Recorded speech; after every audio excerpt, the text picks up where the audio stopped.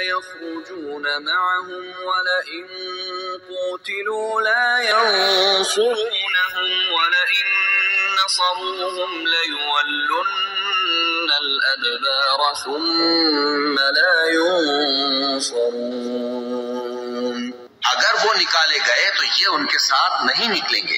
اور اگر ان سے جنگ ہوئی تو یہ ان کی مدد نہیں کریں گے۔ اور اگر مدد کریں گے بھی تو پیٹ پھیر کر بھاگ جائیں گے۔ پھر ان کو کہیں سے بھی مدد نہ ملے گی لأنتم أشد رهبة في صدورهم من الله. ذلك بأنهم قوم لا يفقهون. لا يقاتلونكم جميعا إلا في قرى محصنة أو من وراء جدر. بأسهم بينهم شديد. تحسبهم جميعا وقلوبهم شتى.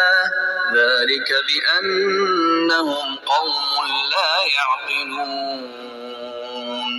كمثل الذين من قبلهم قريبا ذاقوا وبال أمرهم ذاقوا وبال أمرهم ولهم عذاب مسلمانوں، تمہاری حیبت ان لوگوں کے دلوں میں اللہ سے بھی بڑھ کر ہے۔ یہ اس لیے کہ یہ سمجھ نہیں رکھتے۔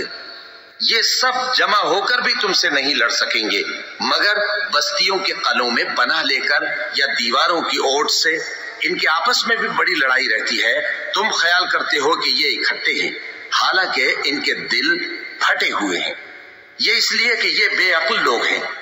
ان کا حال ان لوگوں کا سا ہے جو ان سے کچھ ہی پیشتر اپنے کرتوت کی سزا کا مزہ چک چکے ہیں اور ان کے لیے دکھ دینے والا عذاب تیار ہے۔